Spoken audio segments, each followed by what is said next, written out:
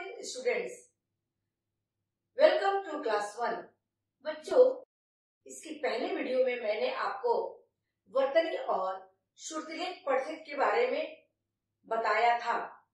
आज हम लोग दोहराव कार्य में सबसे पहले देखेंगे इन शब्दों को शुद्ध करें। तो बच्चों, सबसे पहले यहाँ देखेंगे, यहाँ पर अशुद्ध शब्द लिखा हुआ है। अशुद्ध का अर्थ होता है गलत शब्द। म, छ, ल हर्षोली तो बच्चों, इसको शुद्ध करके सही शब्द लिखना है। ल में हर्षिकार तो नहीं होता ना? ल में कौन सी मात्रा होती है? दीर्घिकार सही शब्द क्या हुआ? मछली। तो यहाँ बच्चों, हम लोग लिखेंगे म, छ, ल दीर्घली। धनुष बोलते हैं? क्या बोलते हैं? धनुष। धनुष का ऊपर का सिरोरेखा खुला।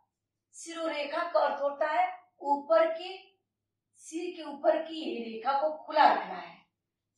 दंतना हर्षुकार मूर्धन शब्द अब दूसरे नंबर पे देखेंगे बच्चों। इन शब्दों को क्रम से सजाएँ। यहाँ पर इधर उधर अक्षर लिखा गया है। आपको सुंदर से अच्छी तरह पढ़ना है। और सबसे पहले कौन सा अक्षर होगा? उसके बाद कौन सा अक्षर होगा? उसके बाद कौन सा अक्षर होगा? मिलाकर सही सब क्रम के अनुसार सजाएँगे। जैसे यहाँ पर हम लिखेंगे, जी, व, न, जीवन।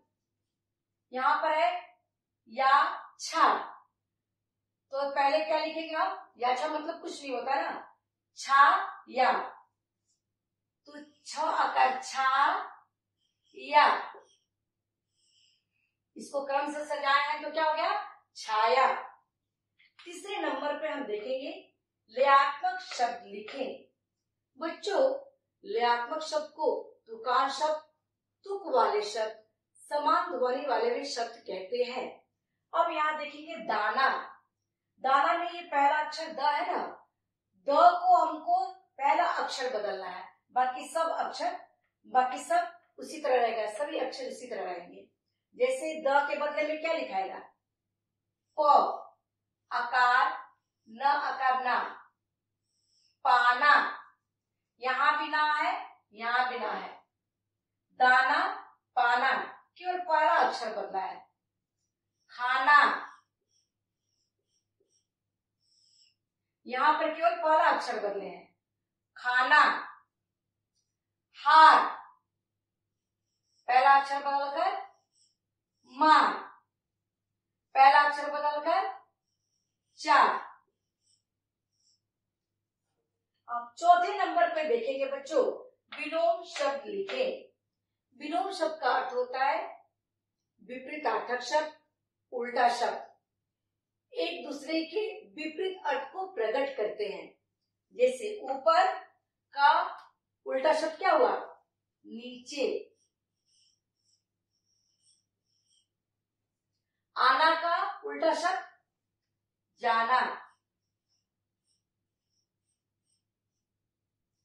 तो बच्चों, इन शब्दों को शुद्ध करें।